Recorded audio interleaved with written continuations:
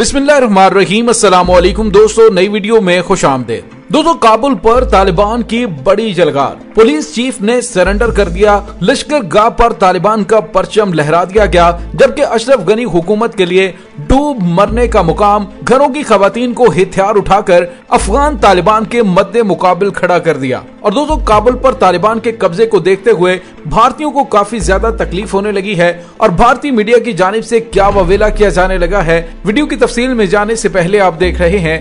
حقیقت کی دنیا ڈاکٹر علی کے ساتھ۔ ہمارا چینل سبسکرائب کر کے گھنٹی کے نشان کو دبانا مت بھولیے گا۔ اس ویڈیو کو زیادہ سے زیادہ فیس بک، واٹس ایپ اور سوشل میڈیا پر شیئر ضرور کریں۔ شیئر اور لائک کرنے کے ساتھ ساتھ۔ کمنٹ باکس میں پاک فوج زندہ باد پاکستان پائندہ باد اور پاکستان کے گمنام ہیروز کو سلام کا نعرہ کمنٹ ضرور کیجیے گا۔ ہر گزرتے ہوئے لمحے میں اشرف گنی کے ہاتھ سے اقتدار نکلتا ہوا نظر آ رہا ہے۔ دوستو گزشتہ چند دن سے ہم مسلسل آپ کو افغانستان کے تازہ ترین حالات سے باخبر کر رہے ہیں اور جیسے ہی کوئی نئی ڈیولپمنٹ آتی ہے تو ہم فوری طور پر آپ کو آگاہ کرتے ہیں۔ دوستو گزشتہ رات اللہ اکبر کے نام سے ایک کمپین افغان حکومت کی جانب سے شروع کی گئی، جس میں افغانستان کے نائب صدر امراللہ بھی شریک ہوئے۔ دوستو، اگر دیکھا جائے تو وہ بالکل چند لوگوں پر مشتمل کمپین تھی جو کہ کابل میں شروع کی گئی۔ لیکن افغان طالبان کی جانب سے کابل پر حملہ شاید کچھ عرصے کے بعد کیا جاتا، لیکن افغان حکومت کی جانب سے کیے جانے والے بے وقوفانہ فیصلوں کی وجہ سے افغان طالبان نے پہلے کابل کا رخ کر لیا ہے۔ دوستو، اس وقت صورتحال یہ ہے کہ حکومتی فورسز ایئر سٹرائک کے ذریعے طالبان اور شہریوں کو نشانہ بنا رہی ہے۔ آج افغان طالبان پر حملہ کرنے کے چکر میں افغان فضائیہ نے ہرات کی جیولری مارکیٹ کو بمباری کا نشانہ بنا دیا، جس سے بڑے پیمانے پر شہریوں کی ہلاکتیں ہوئیں اور ہر طرف تباہی مچ گئی۔ تو دوستو، اس سے آپ اندازہ لگا سکتے ہیں کہ افغان حکومت کتنی بری طرح سے سٹ پٹا چکی ہے۔ انہیں اندازہ ہی نہیں ہو رہا کہ انہیں کون سے ٹارگٹ کو نشانہ بنانا ہے اور کون سے ٹارگٹ کو نہیں۔ دوستو یہاں پہ آپ کو یہ بتاتے چلیں کہ اب جو دوپہر کے وقت خبر سامنے آئی ہے وہ یہ ہے کہ کل رات کے حملوں کے بعد افغانستان کے وزیر دفاع بسم اللہ محمدی کی رہائش گاہ کے قریب بم دھماکہ اور اس کے بعد گرین زون کے اندر بم دھماکے کے بعد کابل شہر دھماکوں سے گونج اٹھا ہے۔ یہ دوستو ایک دو نہیں، بلکہ اطلاع آ رہی ہیں۔ چار سے پانچ بم دھماکے ہوئے ہیں۔ دوستو ان دھماکوں کے نتیجے میں ہونے والی تباہی کے مناظر آپ سکرین پر دیکھ سکتے ہیں۔ دوستو گزشتہ روز افغان آرمی کی جانب سے عام شہریوں سے کہا گیا تھا کہ وہ افغان طالبان کے علاقوں سے نکل جائیں کیونکہ انہوں نے وہاں پہ بڑے پیمانے پہ بمبارمنٹ کرنی ہے۔ لیکن دوستو، افغان شہریوں نے وہاں سے نکلنے سے انکار کیا اور اب یہی سب کچھ افغان آرمی کی جانب سے کابل میں کیا جا رہا ہے۔ دوستو، یہاں پہ آپ کو یہ بتاتے چلے کہ افغان آرمی کی جانب سے کابل میں کہا جا رہا ہے کہ جن ایریاز کے اندر طالبان ہیں، وہاں سے عام شہری نکل جائیں۔ دوستو، یہاں پہ آپ کو یہ بتاتے چلے کہ ایک اور تازہ ترین خبر سامنے آئی ہے، وہ یہ ہے کہ افغان طالبان نے لشکر گاہ پر اپنا پرچم لہرا دیا ہے اور پولیس ہیڈ کوارٹر پر قبضہ کر لیا ہے۔ پولیس چیف نادی علی نے انتیس سپاہیوں سمیت سرنڈر کرتے ہوئے اپنے ہتھیار افغان طالبان کے حوالے کر دیے۔ جبکہ دوسری جانب این ڈی ایس کے chief P D seven Ahmad Shah نے بھی پولیس ہیڈ کوارٹر میں بیس اہلکاروں کے ساتھ ہتھیار ڈال دیے ہیں۔ دوستو، ایک اور بڑی خبر سامنے آ رہی ہے اور یہ ایک بہت بڑی سازش ہے افغان طالبان کے خلاف۔ افغان حکومت نے ہرات میں گھریلو خواتین کو ہتھیار تھما کر افغان طالبان کے خلاف لڑنے کے لیے تیار کر لیا ہے۔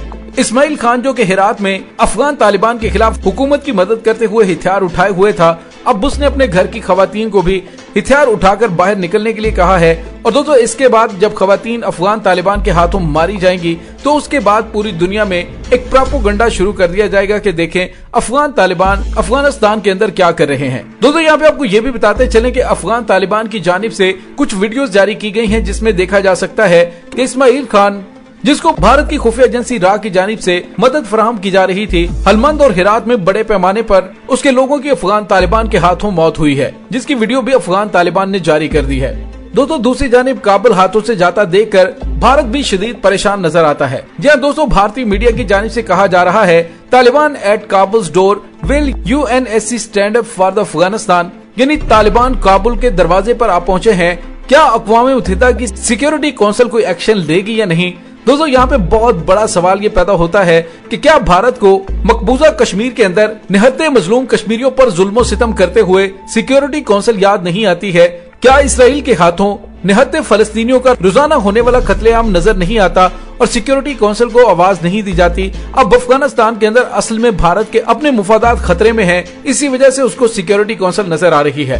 ورنہ اس نے سیکیورٹی کونسل کی تمام قراردادوں کو جوتے کی نوک پر رکھتے ہوئے گزشتہ ستر سالوں سے مظلوم کشمیریوں کے قبرستانوں کے قبرستان بھر دیے ہیں۔ دوستو، اس وقت بھی مختلف محاذوں پر افغان طالبان اور حکومتی فورسز کے خلاف گھمسان کی لڑائی ہو رہی ہے اور افغان طالبان کی جانب سے گزشتہ رات وزیر دفاع کے گھر پر ہونے والے حملے کی ذمہ داری قبول کرتے ہوئے کہا گیا ہے کہ یہ حملہ ہم نے اس لیے کیا کیونکہ اس نے افغان شہریوں پر بمبارمنٹ کرنے کے آرڈرز دیے تھے۔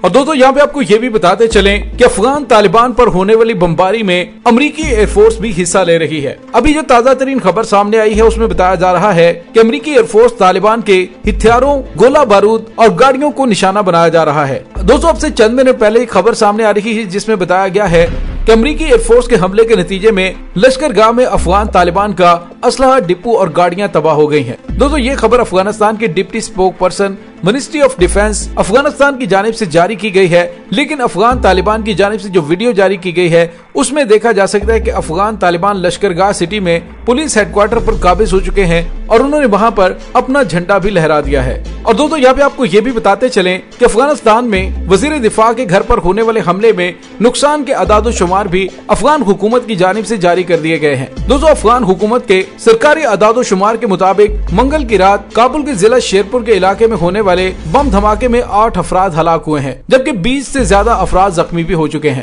دوستو، دوسری جانب جنوبی افغانستان میں طالبان کی پیش قدمی جاری ہے اور انہوں نے صوبہ ہلمند کے دارالحکومت کے دس میں سے نو اضلاع پر قبضہ کر لیا ہے۔ اور دوستو، افغان حکومتی فورسز نے امریکی ایئر فورس کی مدد سے لشکر گاہ پر جو فضائی بمباری شروع کی ہے اس کے بعد امریکی حکومت افغان طالبان کو مجبور کر رہی ہے کہ وہ امریکی فوجیوں پر حملہ کرنے کے اس معاہدے کو توڑ دیں۔ دوستو حلمان میں افغان فورسز کے کمانڈر جنرل سمی سعادت نے کہا ہے کہ وہ طالبان کے زیر قبضہ علاقوں کو فوری خالی کریں، لیکن اس نے یہ نہیں بتایا کہ جس طرح کی جنگ لگی ہوئی ہے، اس میں افغان شہری ایسا کیسے کر سکتے ہیں۔ دوستو، یہ پیغام اشارہ دے رہا ہے کہ مزید فضائی بمباری کا منصوبہ بنایا جا رہا ہے۔ دوستو افغان طالبان کا لشکر گاہ کے نوے فیصد حصے پر قبضہ ہو چکا ہے، باقی دس فیصد حصے پر حکومتی فورسز کے ساتھ جھڑپیں جاری ہیں۔ دوستو اس وقت صورتحال یہ ہے کہ عام شہری گھروں میں محصور ہو چکے ہیں اور ضروریات کی اشیاء لینے کے لیے بھی باہر نہیں نکل پا رہے۔ دوستو اس وقت police headquarter army headquarter اور اہم سرکاری امارات کا کنٹرول بھی افغان طالبان کے ہاتھ آ چکا ہے۔ افغان فورسز نے اکثر جگہوں پر طالبان کے سامنے ہتھیار ڈال دیے ہیں یا لڑائی چھوڑ دی ہے، جس کی بڑی وجہ نفری اور ہتھیاروں کی کمی ہے۔ دوستو، اس تمام صورتحال کو دیکھتے ہوئے اقوام متحدہ نے بہت زیادہ آبادی والے شہری علاقوں میں لڑائی جلد ختم کرنے کی اپیل بھی کی ہے اور افغان فورسز کو ایئر سٹرائکس روکنے کا بھی کہا گیا ہے کیونکہ ایئر سٹرائکس میں بڑے پیمانے پر سویلین کی موت واقع ہو رہی ہے۔ دوستو، ان تمام پیدا ہونے والے حالات پر پاکستان اچھی طرح سے نظر رکھے ہوئے ہے اور پاکستان کی جانب سے بھی سیکیورٹی ہائی الرٹ کر دی گئی ہے۔ دوستو، یہاں پہ آپ کو یہ بتاتے چلیں کہ گزشتہ روز بھارت کے اخبار ٹائمز آف انڈیا میں ایک آرٹیکل چھپا تھا جس میں اس نے لکھا تھا کہ ڈیورن لائن پر لگائی جانے والی دوہری تحری باڑ کا کوئی اثر نہیں ہوگا اور افغان طالبان کی حکومت قائم ہونے پر پاکستان میں بڑے پیمانے پر تباہی آئے گی۔ دوستو، اس سے ظاہر یہ ہوتا ہے کہ بھارت کس طرح کی گھناؤنے ارادے پاکستان کے بارے میں رکھتا ہے۔ دوستو، اصل میں اشرف غنی اور بھارت دونوں نیم پاگل ہو چکے ہیں۔ افغانستان میں انہیں کہیں پہ بھی جائے پناہ نہیں ملنے والی اور آئندہ ایک دو ہفتے کے اندر کابل بھی ان کے ہاتھ سے نکلتا ہوا نظر آ رہا ہے۔ دوستو، اس کے ساتھ ہی ڈاکٹر علی کو اجازت دیجیے انشاءاللہ بہت جلد ملتے ہیں ایک نئی ویڈیو میں۔ تب تک کے لیے اپنا بہت سارا خیال رکھیے گا۔ پاک فوج، زندہ باد پاکستان پائندہ باد پاکستان کے گمنام ہیروز کو سلام۔ اللہ وارث۔